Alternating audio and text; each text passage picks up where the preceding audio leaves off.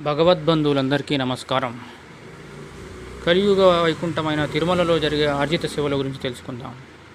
ప్రపంచ నలుమూలల నుంచి నిత్యం వేలాదిగా తిరుమలకు వస్తూ పోతూ ఉంటారు. అయితే చాలామందికి స్వామివారికి నిత్యం జరిగే ఆర్జిత సేవల గురించి తెలియదు. ఒక సుప్రభాతం అర్చన లాంటివి మాత్రమే తెలుసు. కానీ ఎన్నో రకాల సేవలు స్వామివారికి ప్రస్తుతం ఆలయంలో జరుగుతున్నాయి. అవి ఏ సమయాల్లో జరుగుతాయో చూద్దాం.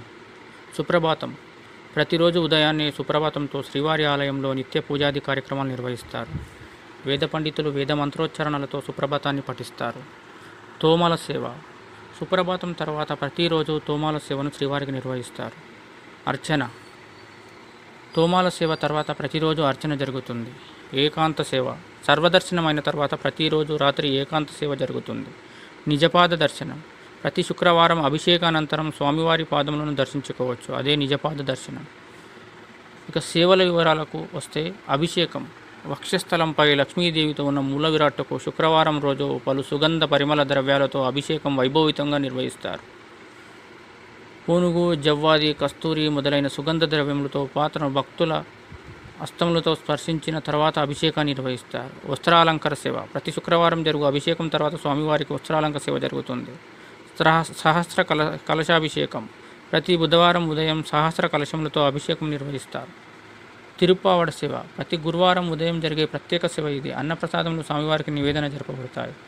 కోయల్ అర్వార్ తిరుమంజనం. ఇది ప్రతి సంవత్సరం ఉగాది ఆనివార ఆస్థానం బ్రహ్మోత్సవం వైకుంఠ ఏకాదశి రోజులకు ముందుగా వచ్చే మంగళవారాల్లో ఉదయాన్నే జరుగుతుంది. గర్భగుడిని శుద్ధి చేసే ప్రక్రియ ఇది. వసంతోత్సవం. ఏడాదికి ఒకమారు చైత్రమాసంలో మూడు రోజులు జరుగుతుంది. పవిత్రోత్సవం. శ్రీవారి నిత్య పూజ నివేదనలలో తెలిసి తెలియక జరిగే దోషాల పరిహారార్థం చేసే పవిత్రీకరణ. ఇది మూడు రోజుల పాటు జరుగుతుంది. సాధారణంగా ఆగస్టు మాసంలో జరుపుతారు.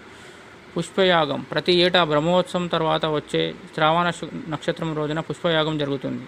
శ్రీవారికి పలు రకాల పుష్పాలతో జరిపే అర్చన. తెప్పోత్సవం. ప్రతి సంవత్సరం ఫిబ్రవరి మార్చి నెలలో స్వామివారి పుష్కరిలో తెప్పోత్సవం జరుపుతారు. ఇది ఐదు రోజులు జరిగే ఉత్సవాలు.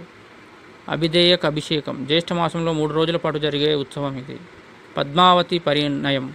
ఇది వైశాఖ శుక్లమి నవమి దశమి ఏకాదశి జరిగే మూడు రోజుల కళ్యాణోత్సవం పుష్పపల్లకి.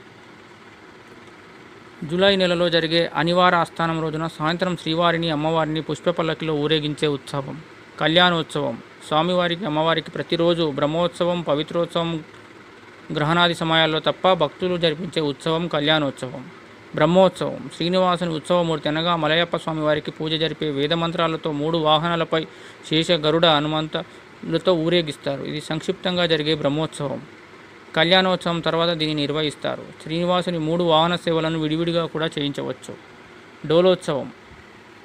శ్రీదేవి భూదేవి సమేత మలయప్ప స్వామివారికి అద్దాల హాల్లో ఉన్న ఉయ్యాలపై వేంచేపు చేసి మంగళ వాయిద్యాలతో వేదపారాయణలతో ఉయ్యాల ఊగించే ఉత్సవం. సహస్ర కలశాభిషేకం. ఐహిక ఐష్ముక అభ్యున్నతికై శ్రీనివాసునికి భక్తులు జరిపించే ప్రత్యేక అర్జిత సేవ. ఇది ఉదయం కాలంలో జరిగే సేవ. ఓం నమో వెంకటేశాయ. భగవద్బంధు